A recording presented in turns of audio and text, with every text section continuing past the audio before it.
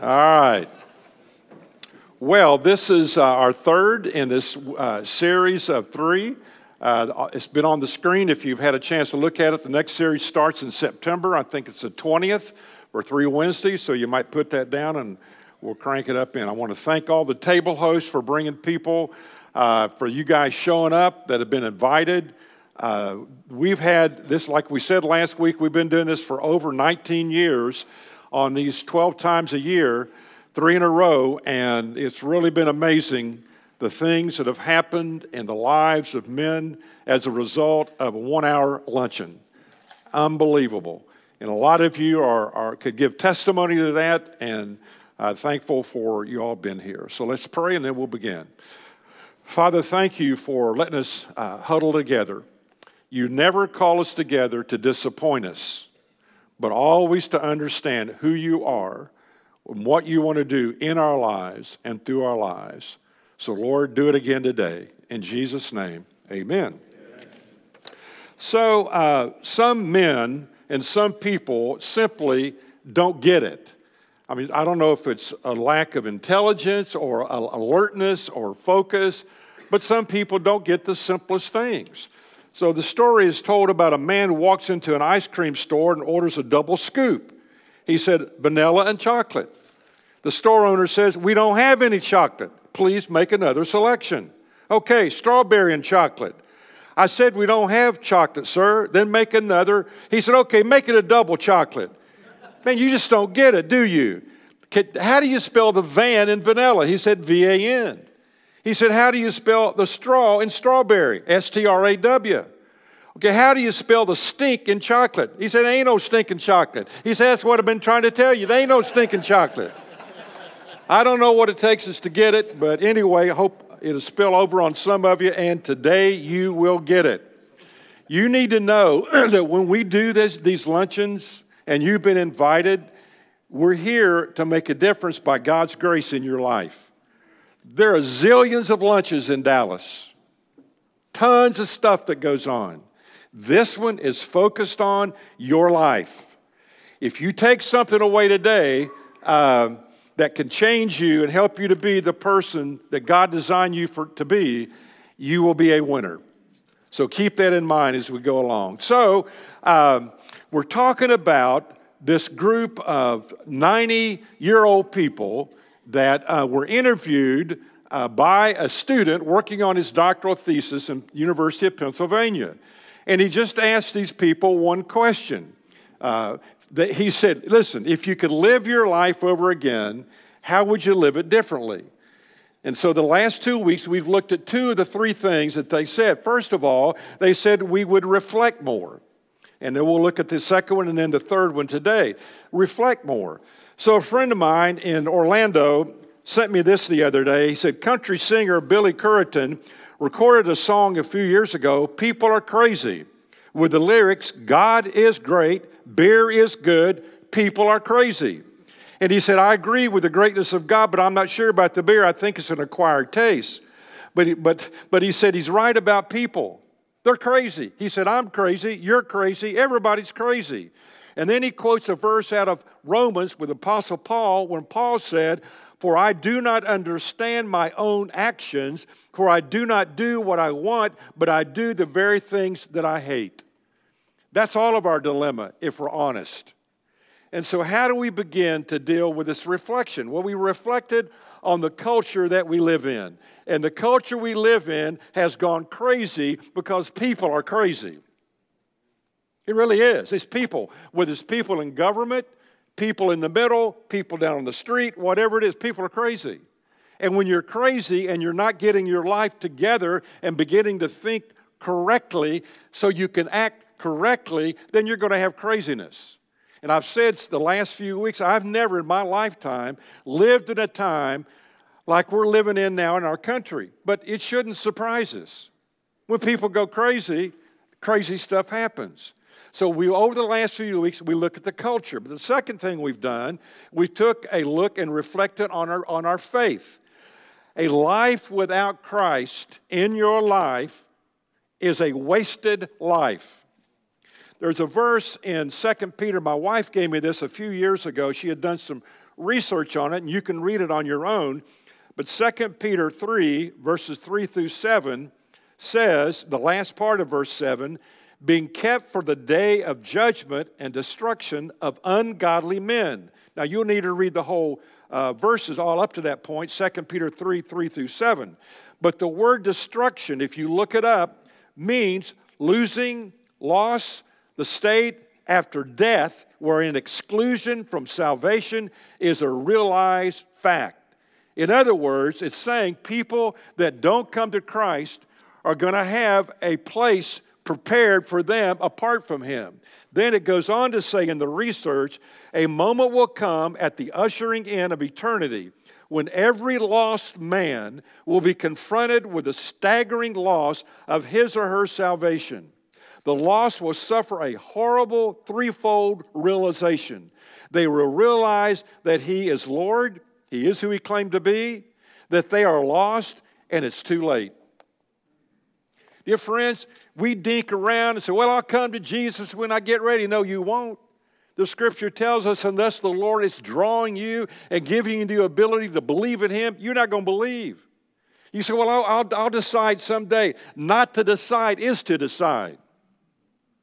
And the posture that we have uh, as a person who has not yielded our lives to Christ is we're in, we're in danger.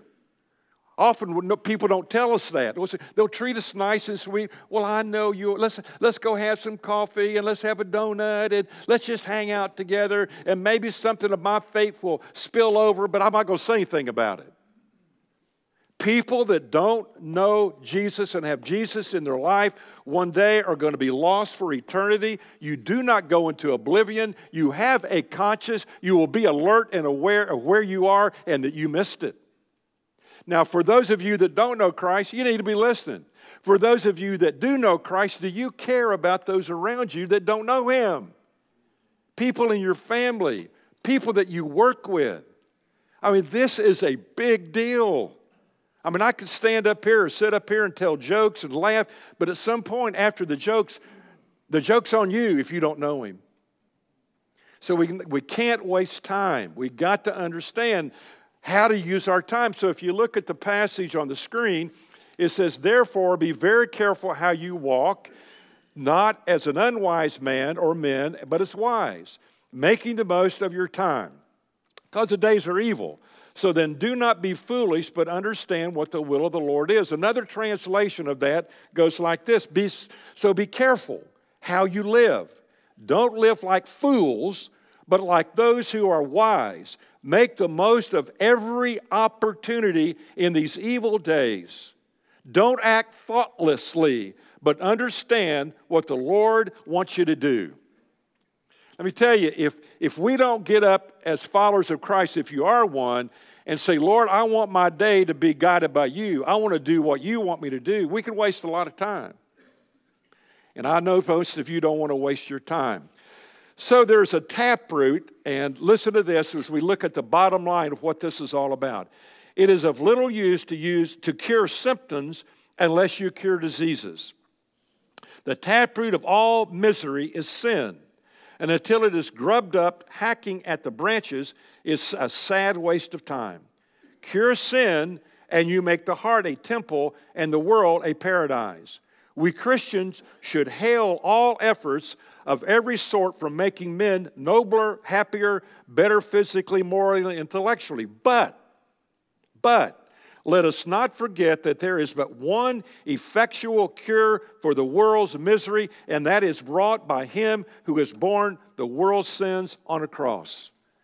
So we can do all this stuff with political stuff and all these do good things, do, do them all. But the bottom line is if you don't change a man's heart, if he doesn't deal with the number one issue of the sin in his life, it's never going to get any better. So we need to understand that. Someone has said, when you have nothing left in this world but God, then for the first time in your life, you will learn that God alone is enough. He's enough. He is enough. So also last week, we said, these people said, well, listen, if I could live my life over again, I would reflect more. I, we had too much cocktail talk. But secondly, said we'd risk more. Now we're 95 years old. We are a risk. We can't risk anymore.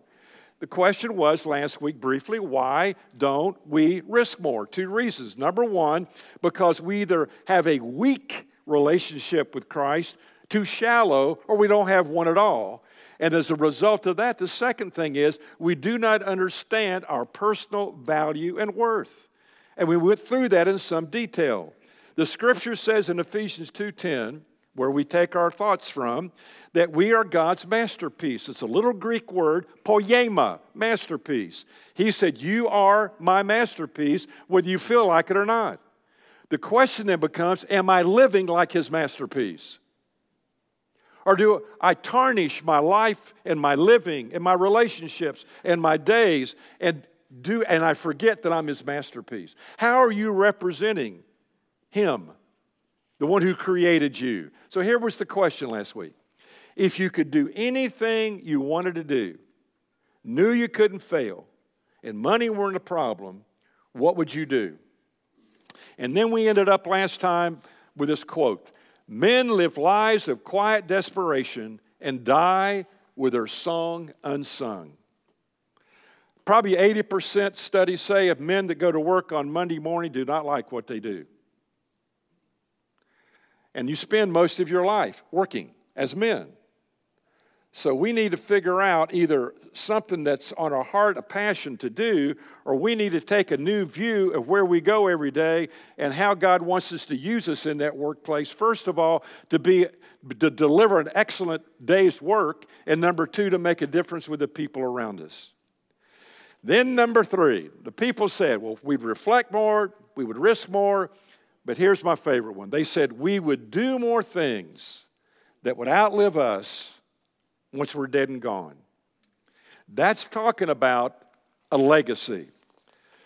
So, a story related to me by a great writer in this country said the following About a dozen gray haired men sat at the table in a prestigious country club, all former executives who have been highly successful, leaders, champions, bright, intelligent minds these were risk takers who had led big lives, checkered with success and failure. Married between 45 and 60 years, these men clearly had plenty to impart to a younger generation. As I prepared to speak to them, I couldn't help but think that their gray heads only added to their dignity. They had asked me to speak for a few minutes on what I did around the country with families, and that's what I did. But what happened when I was finished speaking blew me away. What happened next was fascinating. It was as though I touched an open nerve. For 45 minutes, they peppered me with questions, peeling back their hearts, sharing disappointments, frustrations, doubts, and desires. They talked about their children uh, and how their children were so critical to them, pushing them to the fringes of their lives. They were treated as often as, adult, as unnecessary adults except as babysitters. And they felt their family really didn't want their influence or their involvement. They said the only opportunities their churches offered were ushering, serving on the stewardship committee, and giving to the building programs. They lamented that the culture had become so youth oriented, they felt emasculated, treated as though they were done and had nothing to give back. These men, who had once been kings in their families, their businesses, and their communities were for the first time in their lives uncertain what their roles should be. Like broken antiques gathering dust in the attic, they were without purpose. But as they interacted, I could see in their eyes that they longed to be challenged again.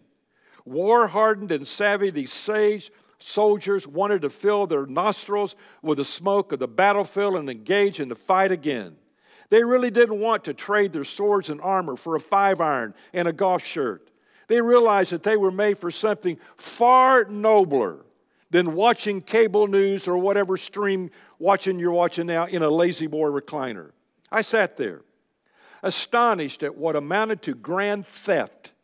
Men robbed of their glory, no longer dreaming because of the complexity of forces that had cruelly swindled them out of their courage to step up these men had been left behind, disoriented, lost.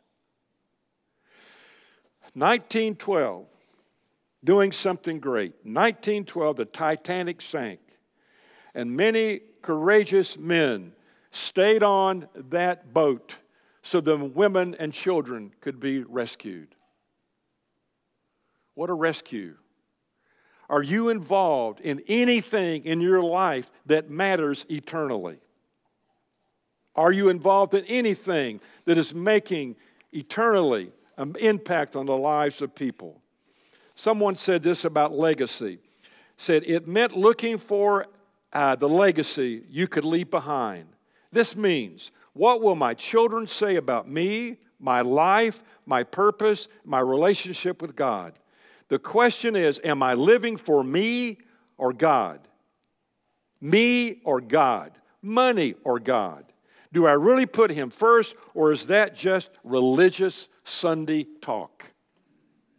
See, what, what God's after is authenticity in terms of an honest relationship, a real relationship with Him that makes a difference in our everyday lives. T.S. Eliot said, And the winds shall say, Here were a decent, godless people, their only monument, an asphalt road, and a thousand lost golf balls. Doesn't amount to a whole lot. So, someone said it this way What do you want to be remembered for? Once it finally dawns on us that we will not be remembered for what we have accomplished or what we have achieved or how much money we have made, we acquire the ability to change in a fundamental way. We get a new paradigm. We have a new way of looking at things. So here's a question for you Is what you are living for worth Christ dying for? So, how do you want to be remembered?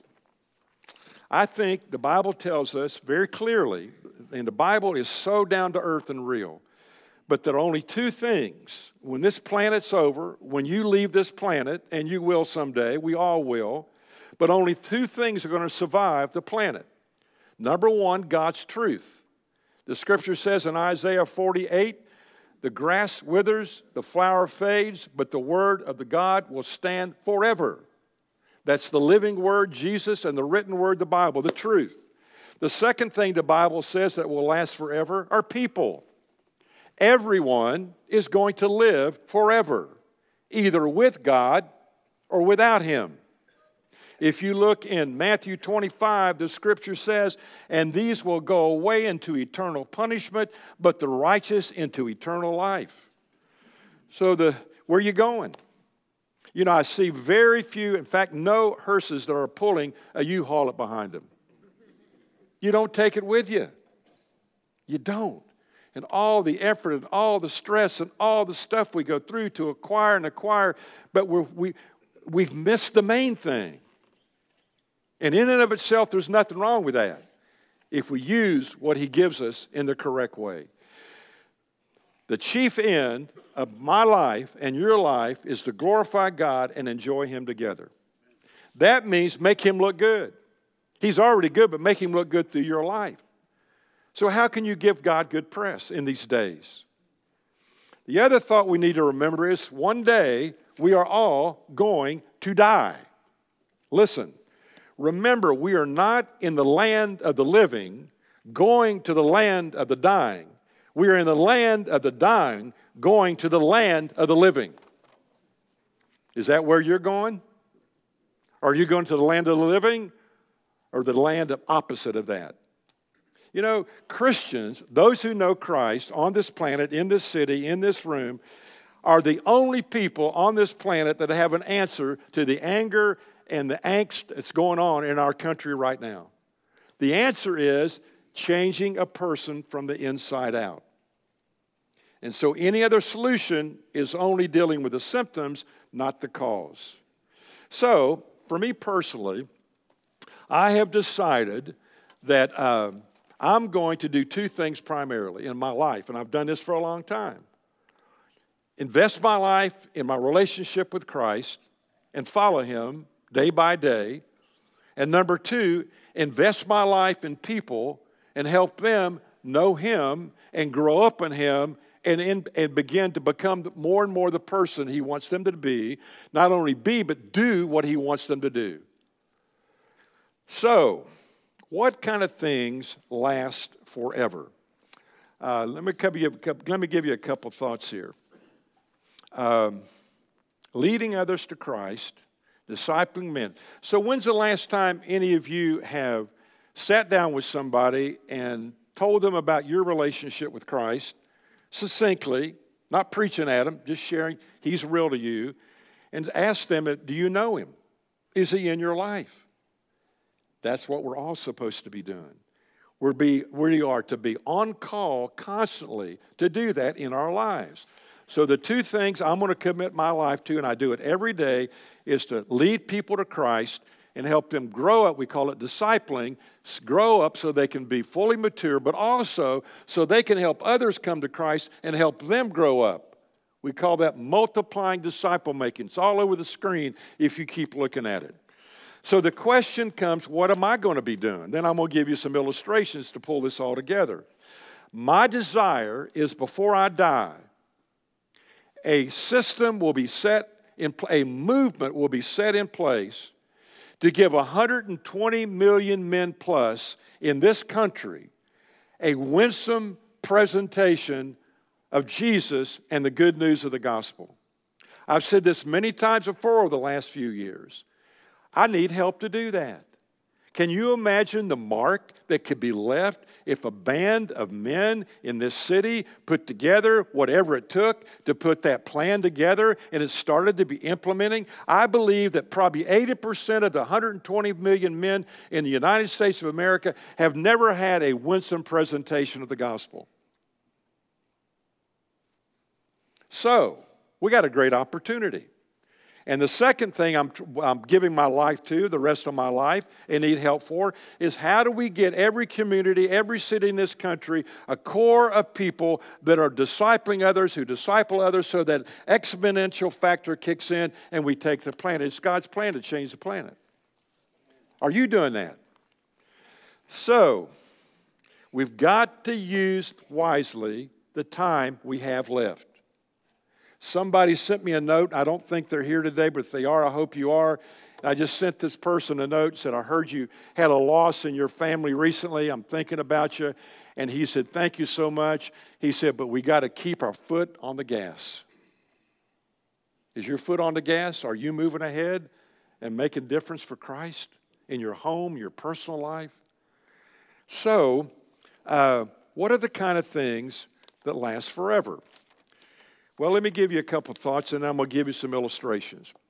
When we contemplate the reality of death, we become keenly aware of the importance of leaving something good behind.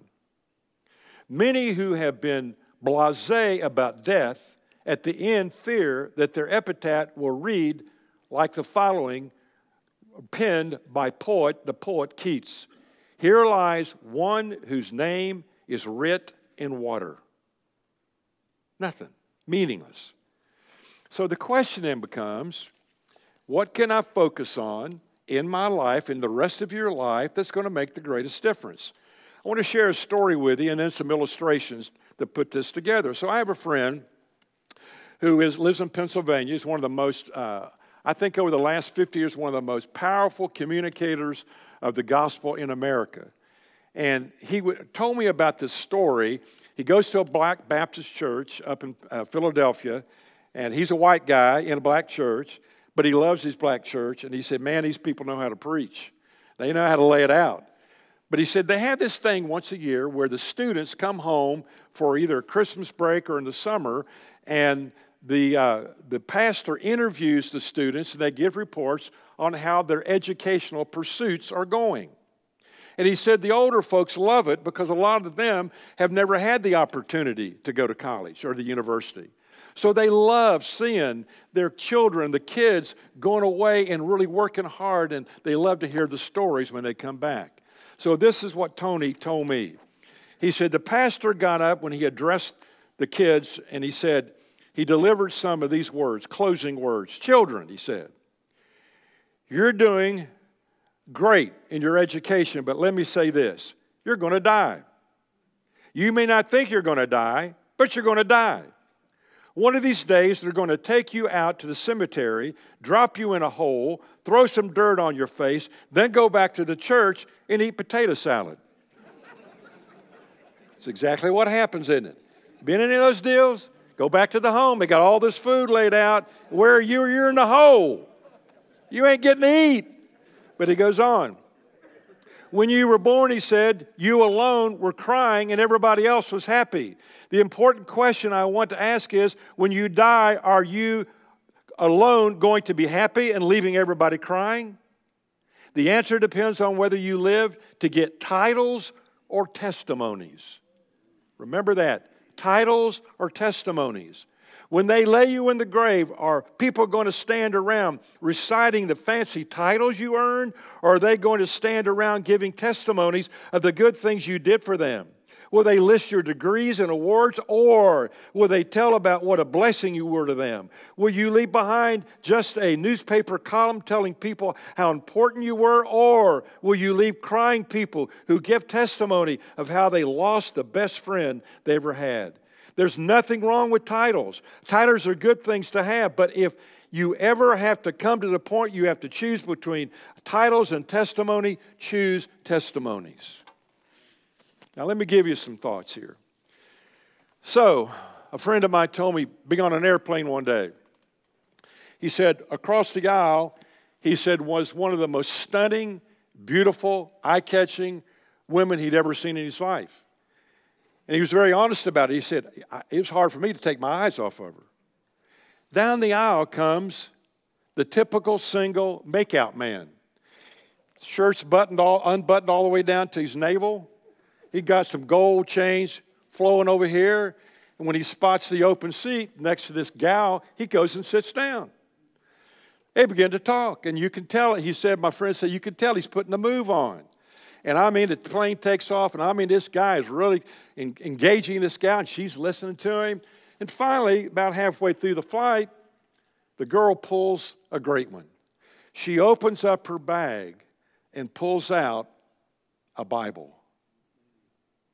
She begin reads, she begins to read the Bible to the makeout man. She shares the gospel with the makeout man. The, plan, the plane lands. Everybody's up in the aisle, they're trying to get out. But over here was this beautiful lady and the makeup man, and she's got her hand on his shoulder and she's praying and leading him to Christ. Now, you'll never know that lady's name. That's what it means to have a testimony.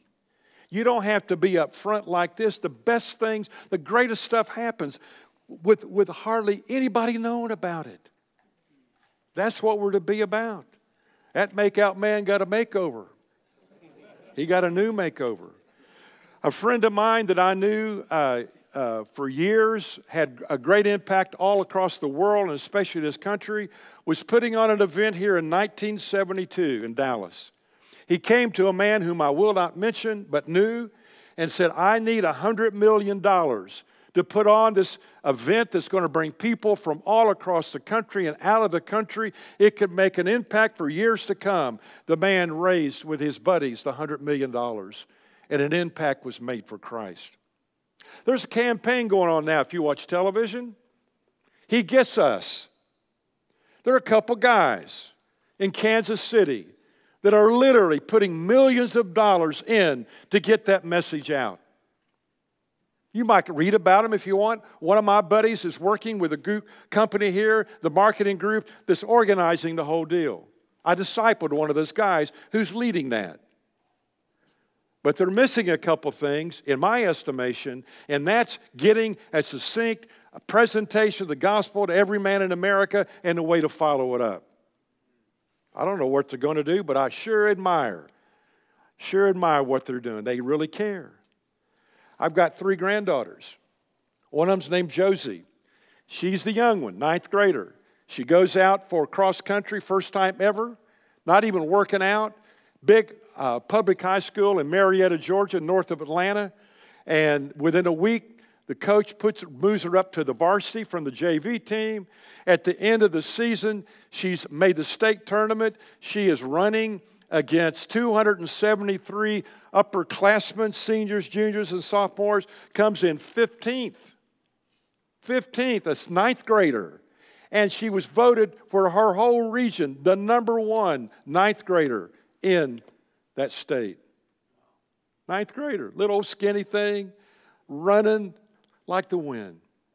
But one day in one of the meets, she didn't seem to be running uh, with the same passion. And my daughter and, and, and uh, Joe, uh, my daughter's husband, and Josie's dad said, Something's wrong.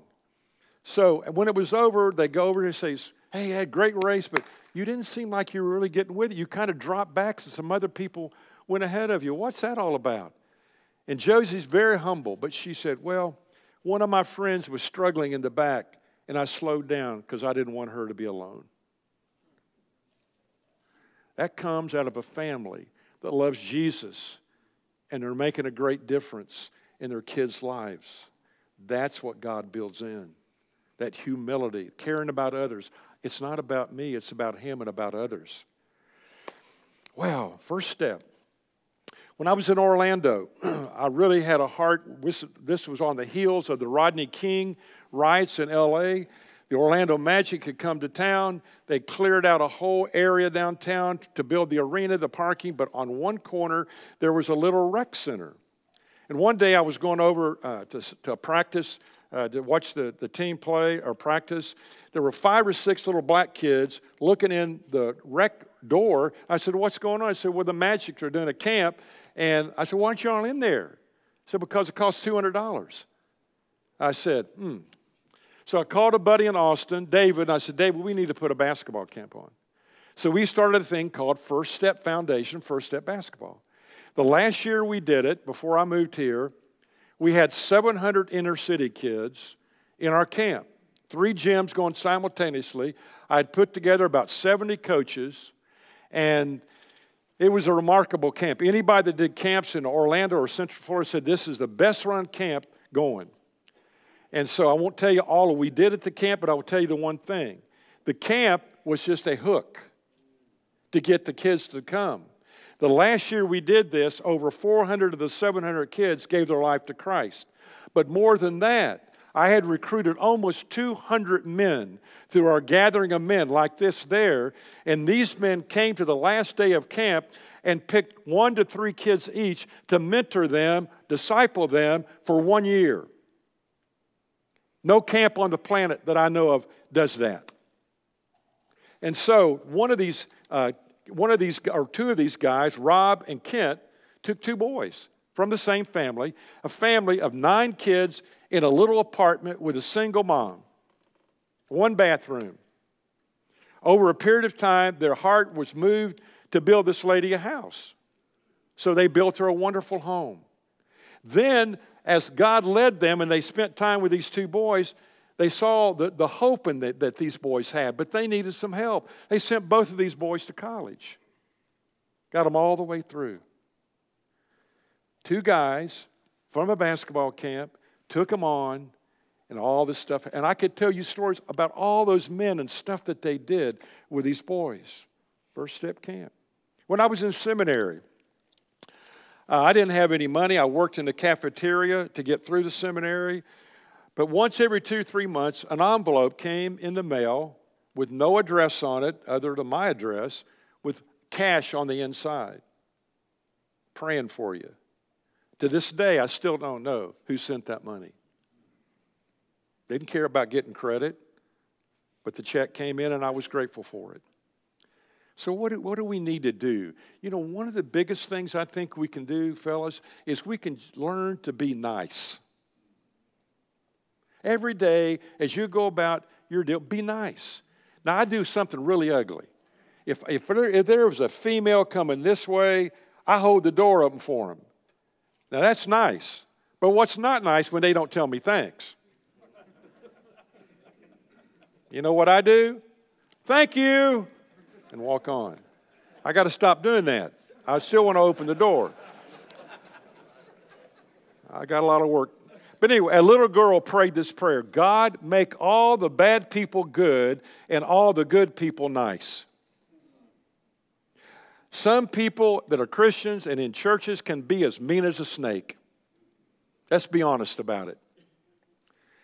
My wife, Punky, some of you have had knee surgery, hip surgery. She had two knees put in January and, and another one in March. I called her this morning and said, Punky, one of the girls is going to help out at the desk where you came in, pooped out, and uh, can you come in? She didn't even hesitate. I'll be there. Two knees, working on getting well again. She's back there. The things my wife does, the little things she does that nobody will ever know about, absolutely blows me away.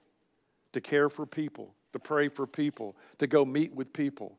Tonight, there will be about 12 to 13 young girls in their 20s that will be in our living room. And she'll spend two hours with them, bringing them along into faith, giving her life away to them. So there's a verse in the Bible. I got a couple more things to say. Don't go yet. There's a verse in the Bible in Matthew chapter 25, verse 21. Well done, good and faithful servant. You have been faithful over a little, I will set you over much. We've got to learn to do the little things with no notice well.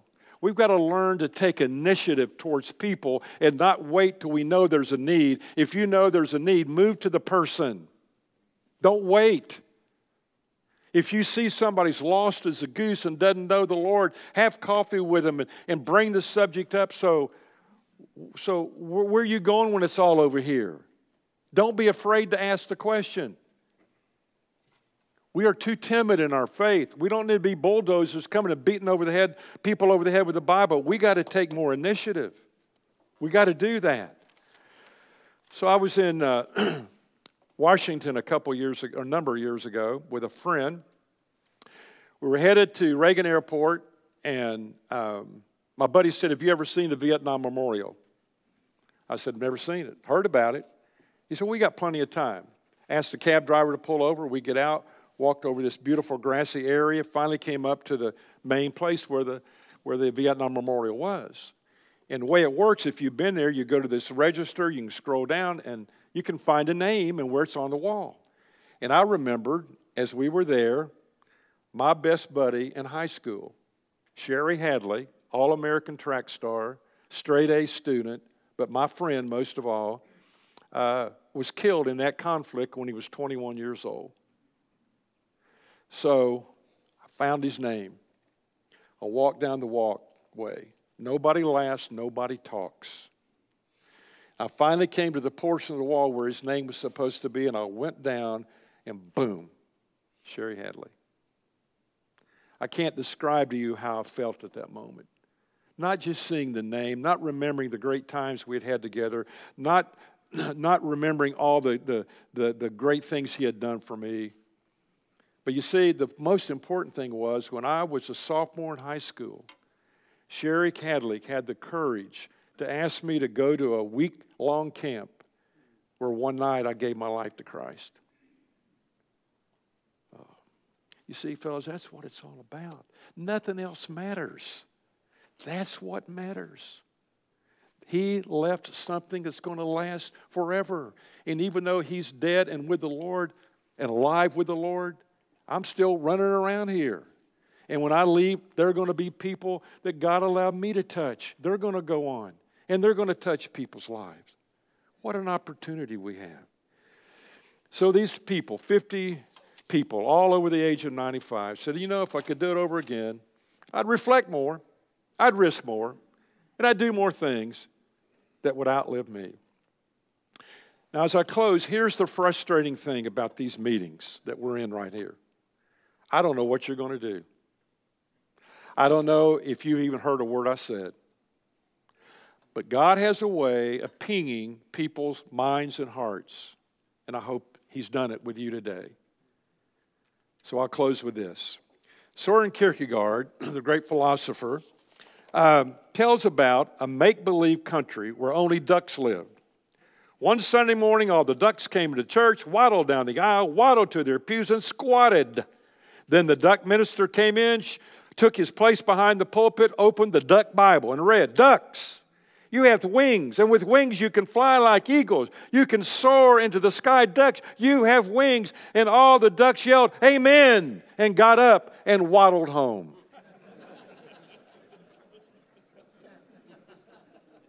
Don't waddle home. Let's pray. Father, thank you for each man in this room. I don't know all that's going on in their hearts, but you do. And Lord, if there are men here today that do not have you in their lives, I pray they'll pray a simple prayer. And right now they can pray it Jesus, come into my life, clean me up.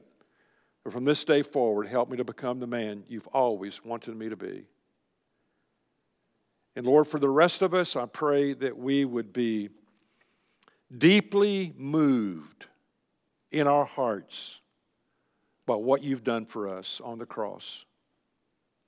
And that we would realize that no one else has ever done what you've done. No one will ever love us like you love us. No one has ever promised a present and a future like you have promised. And so, out of gratitude, Lord, I pray that we would give our lives to you anew and fresh today and say, Lord, use me. Use me. Help me to make a difference while I'm here. In Jesus' name, amen. Thanks, fellas. See you in September.